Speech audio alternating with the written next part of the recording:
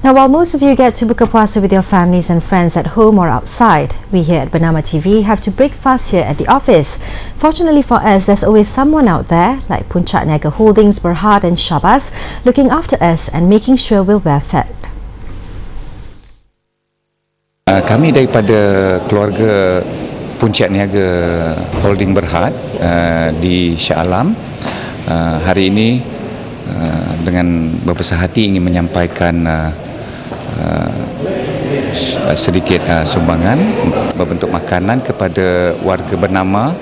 uh, kami sebagai tanda penghargaan atas jasa dan sumbangan agensi media bernama